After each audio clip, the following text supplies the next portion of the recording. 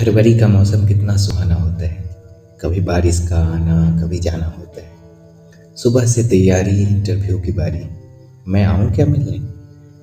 इतनी बारिश में कैसे? बंद हो जाएगी तब तक? नहीं नहीं थमेगी बारिश आज।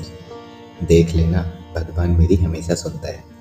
देखूँगी, कैसे सुनते हैं। भगवान आज तुम्हारा। देखा, रुक गई ना बारिश? धूप भी खिलाया है, गुलाब के फूल की तरह। ये मोहब्बत नहीं, चाहत नहीं, चाहत की इबादत का असर है। आखिर इबादत असर लाई। मैं पहुँच ही गया तुमसे मिलने। कब तक आओगे तुम? इंतज़ार करो मेरा भी एक लंबा इंतज़ार, वो भी इबादत खाने में। तुम आई, खिलखिलाती हुई। दौड़ती हुई गई इबादत खाने में। अकेले चली गई ना? मांग लिया ना खुदा से मुझे? मुझे भी तो साथ ले चलती ताकि मैं भी मांग सकता तुम्हें। चलो, फिर कभी। दोनों एक दूसरे की आँखों में देखकर मुस्कुराए।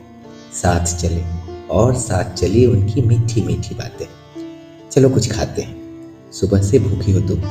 तुमने भी तो कुछ नहीं खाया। क्या खाना है बताओ? चलो, चाउमीन मंगाओ खा कम और एक दूसरे को देख अधिक रहे थे हम दोनों। किसी तरह चाउमीन समाप्त किया। और हाथों में कुछ मीठा लिया अब जाने का टेंशन।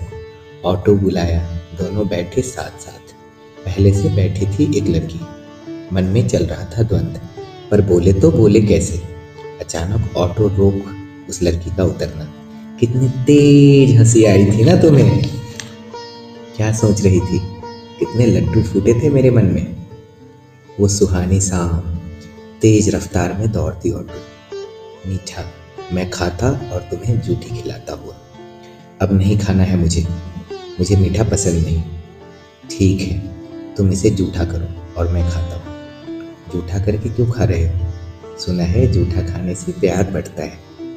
पागल कहीं का? कहाँ का? ज़ोर का ठहाका। एक दूसरे के हाथों को जंजीर की तरह जकड़े हुए। हम दोनों एक दूसरे के दिलों में उम्र कैद की सजा चाह रहे थे। फिर तुम्हारा नाक खींचना। चीटी काटना। मन कर रहा था ऐसे ही चलती रहे ऑटो। लेकिन प्रेम में समय अंतराल भी कम हो जाता है। आज पता चला मुझे। आखिर छुड़ा लिया तुमने अपना हाथ। मैं तो हमेशा के लिए जकड़ना चाहता था तुम्हारे हाथों अब मैं ना रहूँ तो मुझे दोष मत देना। तुमने ही छोड़ा था मेरा हाथ। तुमने ही छोड़ा था मेरा हाथ।